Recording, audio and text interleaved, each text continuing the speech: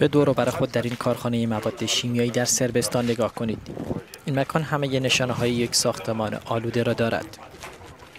آسیب های این ساختمان بسیار گسترده تر از پنجره های شکسته آن است. این مکان آلوده به مواد سمی است.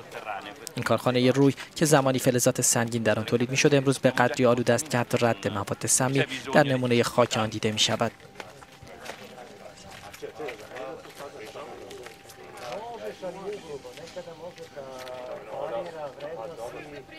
یکی از کارشناسان وزارت محیط زیست ایتالیا می‌گوید ما از طریق ابزارهای قابل حمل اشعه ایکس خاک اینجا را آزمایش کردیم. این آزمایش نشان می‌دهد که حدود 20 درصد این خاک آهن است و میزان آرسنیک موجود در آن بیش از 50 برابر میزان مجاز بر اساس استانداردهای ایتالیا برای خاکهای آلوده است.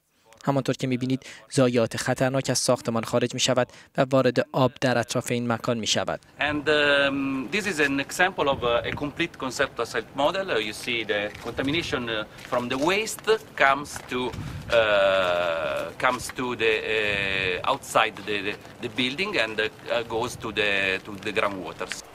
اما به نظر می رسد که همه مردم از خطرات آگاه نیستند. می بینید که مردی در حال ماهیگیری از جریان آبی است که با مواد سمی آلوده شده.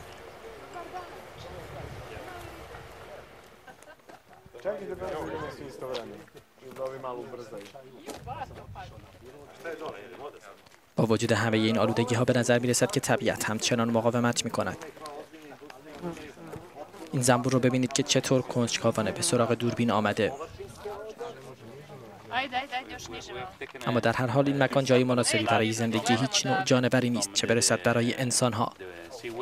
اوضاع وقتی نگران کننده تر به نظر می رسد که بفهمیم حدود 360 مکان مشابه در سربستان آلوده به مواد سمی هستند.